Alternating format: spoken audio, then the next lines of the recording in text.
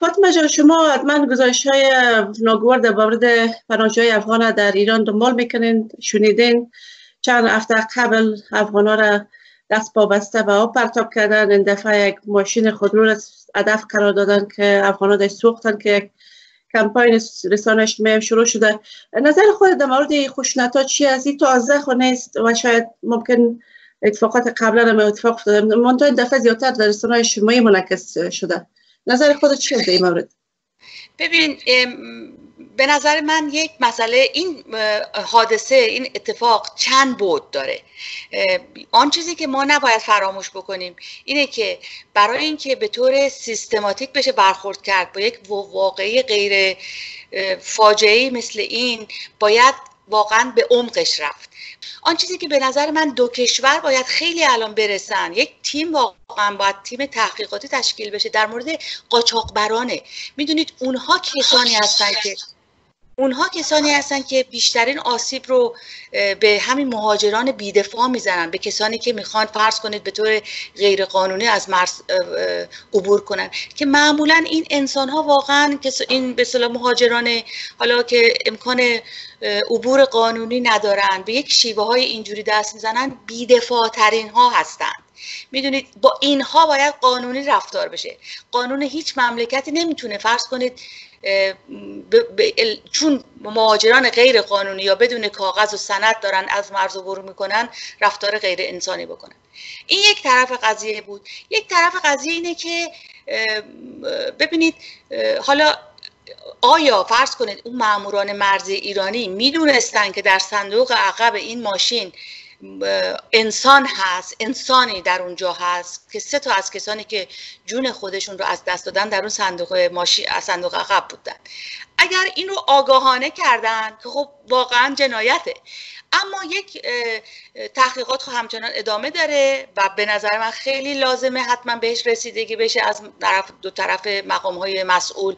ولی خب یک بخش قضیه هم این هست که یک موتوری فرض کنید به طور غیر قانونی از هر مرز کشوری عبور بکنه معمولا به لاستیکش آتش شلیک می‌کنن. این نرم هست. این خیلی جاها اتفاق میفته برای بله، کمپاین کم آب بیان سوختم در رسانه اجتماعی من متوجه شدن افغان با پایم مختلف از وضعیت مهاجرین در مجموع در ایران انتقاد کردن. نظر خود در مورد پناهجوی داخل ایران چی است که چی نوع رفتار باشون میشه؟ همه می‌دانیم که افغان اکثرشان اونجا حداقل یک میلیون افغان در ایران مهاجر هستند یا ایران میزبانشان است. بله. نظر خود در مورد پناهجوی داخل ایران چی است؟ دو نزدیک دو میلیون افغان هستند در ایران و ببینید روزانه صدها هزار نفر از به طور قانونی از مرزهای ایران و افغانستان عبور می‌کنند. یک مشکلی که ما باید در نظر بگیریم و محکوم کنیم به طور هدفمند و فعال رفتار تبعیض آمیز علیه آدم های بیدفاع یک کشوره. افغان ها بعد از این افغانی که در ایران دنیا آمده در ایران مدرسه رفته دیگه نباید خارجی محسوب بشه. خب یک سوال اصلی این چیزی که باید به نظر من فعالان حقوق اجتماعی و حقوق بشر از نظر دور ندارن حق شهروندی هست. نه؟ شما فکر کنید در هر در بسیاری از کشورهای دیگه وقتی که یک مهاجری نسل در نسلش اقلا دو سه نسل در اون دو نسل در ایران ممکنه دنیا اومده باشن. از زمان حالا به اصطلاح اشغال افغانستان توسط اتحاد شوروی سابق. اونها دیگه هنوز نمیشه به اونها گفت مهاجر. خب؟ پس اونها باید از همه حقوق شهروندی که هر انسان دیگری در اون جامعه برخورداره برخوردار باشن. حالا این یک طرف مهاجران قانونی. یک سری هم هستن مهاجران غیر قانونی این هم یک پدیده ای هست که در بسیاری از کشورهای جهان وجود داره. در مورد اون مهاجران غیر قانونی هم باید به طور قانونی رفتار کرد. باید به طور انسانی رفتار کرد. باید حقوق آن انسانی هم که از به طور غیر قانونی از مرزی کشور وارد اون کشور شده دفاع کرد. باز هم مسئله پناهجو برمیگرده به جنگ در افغانستان. چون هنوز هم مذاکرات صلح در جریان است. اگر صلح شود ممکن مردم نخواهند برن اما خودت یک گزارش بسیار نکته مهم را در گزارش تحلیل کرده بودی که افغانایی که از ایران برمیگردن در داخل کشورشان قبول نمیشن. و در داخل ایران هم بهشون گفتین حق شهروندی داده نمیشه که در مورد گزارش صحبت کنیم که از این نظر تا چه حد وضعیت افغان های صدق می‌کنه؟ هنوز این مسئله ادامه داره؟ بله بله البته. ببینید مردم به قول خودتون به قول افغان مردم غریب افغانستان.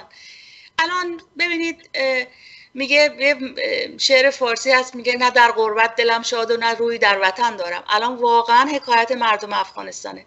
شما فکر کنید که با اون خشونتی که در اون جامعه الان به مردم تحمیل شده درگیری با یک نهاد یک سازمانی مثل طالبان در با خشونت های اینجوری و خشونت های گروه های تروریستی دیگه هم در درگیر هستند. و بعد نه در کشور خودشون الان آرامش دارن نه جای دیگه که به صلاح مهاجرت کردن یا در تلاش یک زندگی واقعا انسانی بسیار مختصر حالا ادعای زیادی هم ندارن. و من هم در این مقاله اخیرم این موضوع رو در مورد همین به غرق شدن مهاجران افغان نوشته بودم و خیلی به حالا تاکید من روی این بود که یه سری تجارب شخصی خودم هم بود از آنچه که دیدم در افغانستان. ولی به صلاح تاکید من هم این بود که مسئله سیاسی نشه و لازم مقامای مسئول دو کشور بشینن و تحتوی این رو در بیارن. می‌دونید خیلی مسئله مهمی هست که تمام جزئیات این این اتفاقها مشخص بشه تا نظیرش دیگه نیفته. وگرنه اگر اینو همجوری مسئله رو سیاسی کنیم و سرش یکم جنجال و بعدش هم تموم بشه هیچ چیزی تغییر نخواهد کرد.